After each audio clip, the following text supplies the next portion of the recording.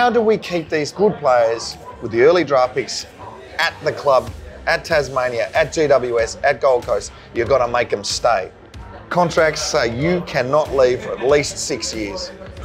Six. Yeah. So they got to get the old crystal ball out. I mean, I always say I've got ginger ones. I don't have crystal ones. Learn, learn the game. Learn what the club's about. Learn the environment. Cut your teeth and go right. Well, I'm going to sit and through. And it's not just about roses, beers, and skittles and heap you're of very passionate about. I, I heap of cash and all that sort of Yeah, stuff. Just yeah. sit there and do the hard yards because that's going to make you, I think, a better person and a better player. And then at the end of that, you, you win a flag for Tassie, and then right, the world's your oyster. How much? Not the easy way out, Robbo. No, Just right. take the money and run. so how much zinc cream did you go through when you were in the Gold Coast? Too much.